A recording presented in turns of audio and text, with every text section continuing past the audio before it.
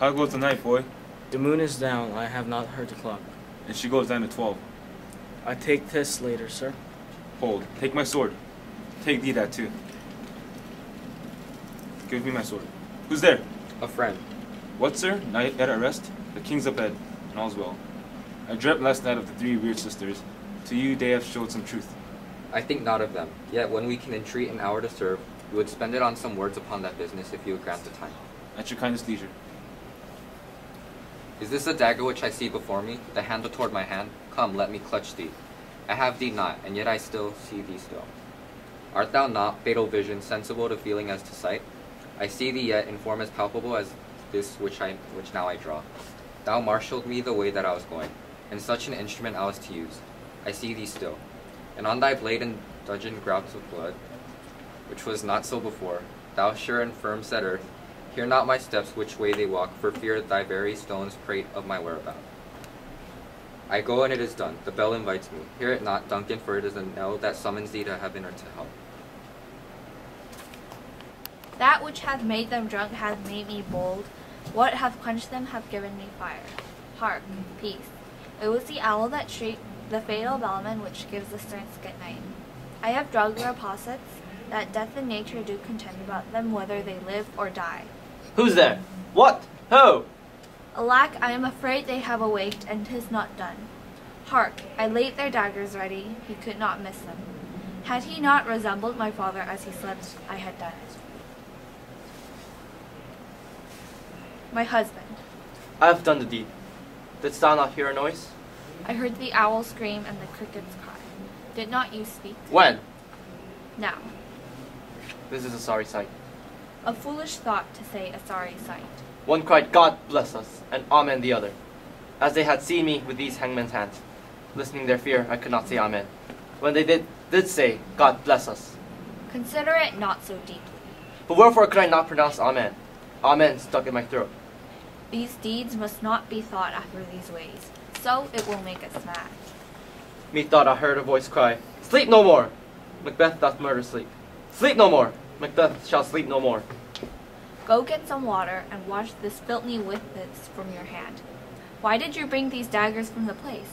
They must lie there. Go carry them and smear their sleepy grooms with blood. I'll go no more. I am afraid to think what I have done.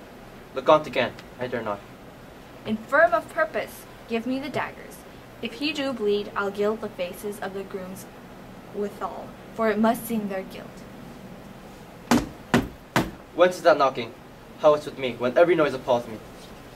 Will all great Neptune's ocean wash this blood clean from my hand?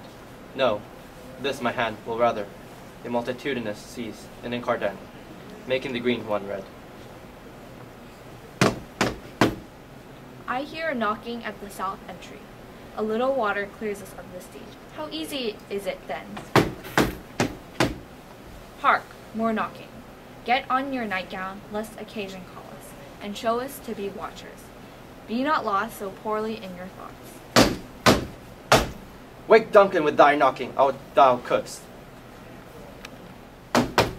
Here's your knocking indeed. If a man were porter a house gate, he should have old turning the key. Knock, knock, knock. Who's there? Knock, knock, knock. Who's there? Knock, knock. Never at quiet. What are you? But this place is too confined. Anon, anon. Was it so late, friend, ere you went to bed, that you do lie so late? Fisher, we were carousing till the second cock. I believe Drake gave thee the lie last night. That it did, sir. Is thy master stirring? Our knocking has awakened him. Here he comes. Good morrow, both. Uh, good morrow, noble sir. Is the king stirring, worthy Thane? Not yet. He did command me to call timely on him. I'll bring you to him.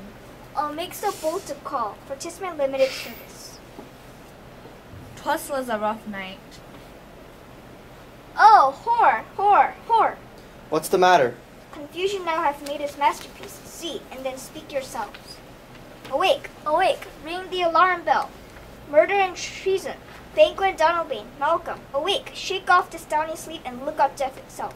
Ring the bell. What's the business? Speak, speak. Oh, gentle lady, 'tis not for you to hear what I can speak. No, Banquo, Banquo, our royal master's murdered. Oh, well, alas, what, in our house? Too cruel anywhere. What's the myth? You are and do not know it. Your royal father is murdered. Oh, by whom? Those of this chamber, as it seemed, had done it. Oh, yet I do repent me of my fury that I did kill them.